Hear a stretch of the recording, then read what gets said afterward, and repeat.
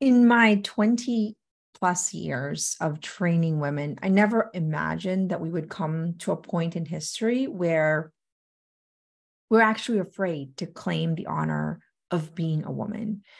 In 2022, as we all know, the definition of being a woman was all of a sudden not clear.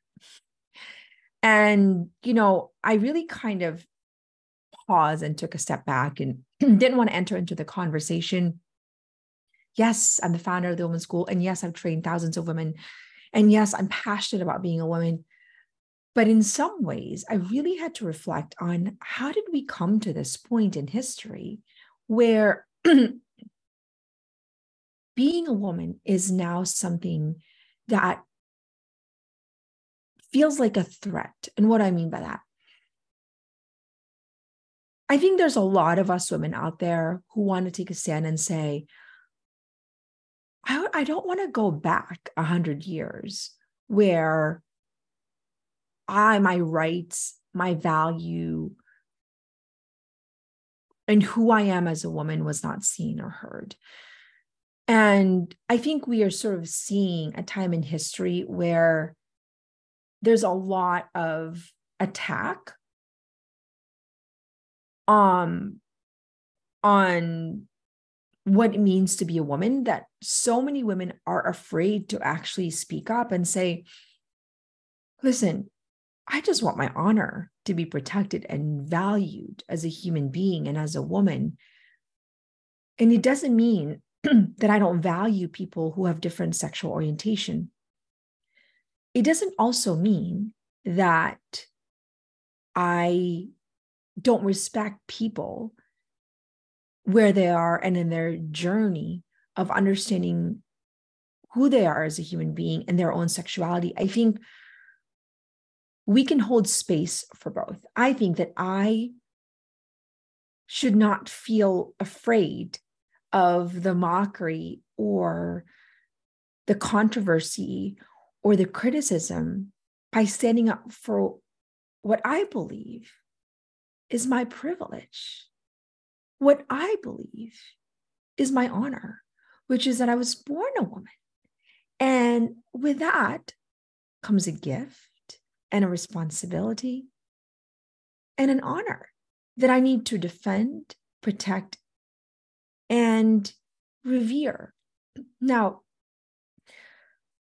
it also means that I can hold space for people that are struggling with their sexuality or perhaps have a different belief in how, you know, how they see themselves as a woman without having to be afraid of my value as a woman. I think that we have sort of this polarizing extreme voice where we're mocking people who are going through with sexuality, or we're silent uh, about the fact that we need to define what it means to be a woman because now it's vulnerable. And I think that we, I think we're not asking the right question. I think that the right question is that how we, how do we help people discover their own sexuality? How do we help people discover that their value is unconditional? How do we help people develop a mindset that doesn't program them to think that their worth is conditioned to anything external? How do we create a culture where we can have a conversation with people that have different sexual orientation, different beliefs, different, you know, experience and not judge them, but rather be curious about how they got there. And maybe we can find creative solution to help each other, right?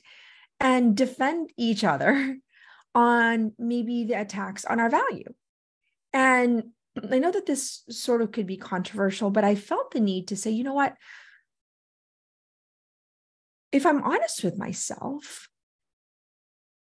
I am upset about the fact that I can't take a stand that I am a woman. without fear that people are going to silence, mock, or cancel me. And that fear is real because that's what's happening.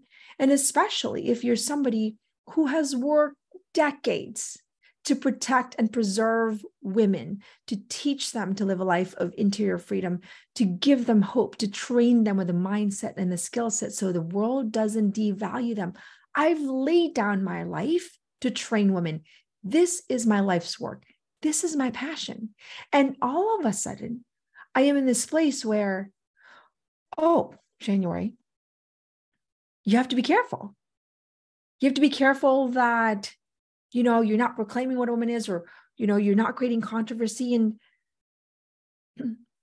i just feel like there's women out there that are listening that also feel the same way as i am and saying i don't want to be i don't want the fact that i'm a woman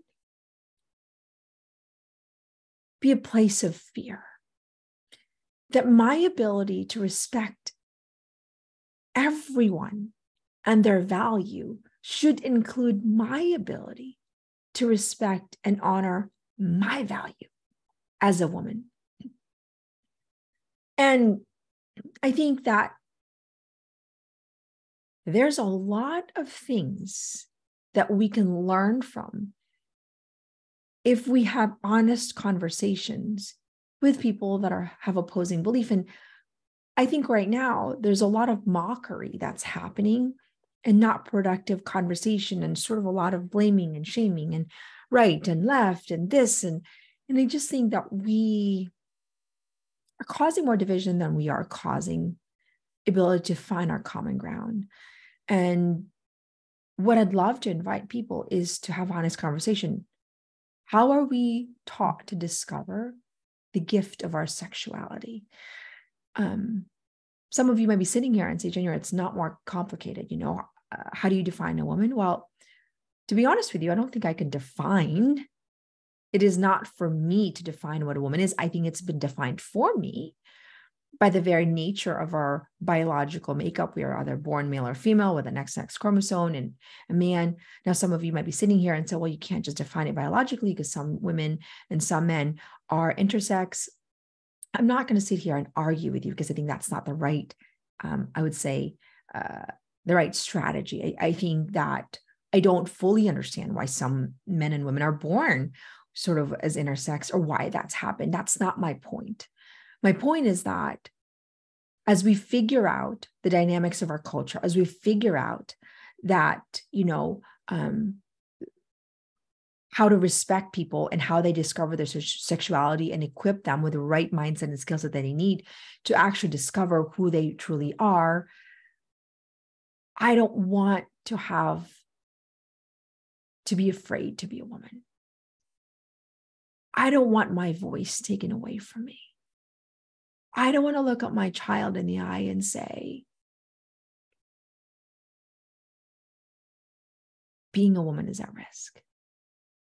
I don't want to go back in time. I want to stand up and say, it is an honor and a privilege to be a woman. I want to stand up and say, I value men.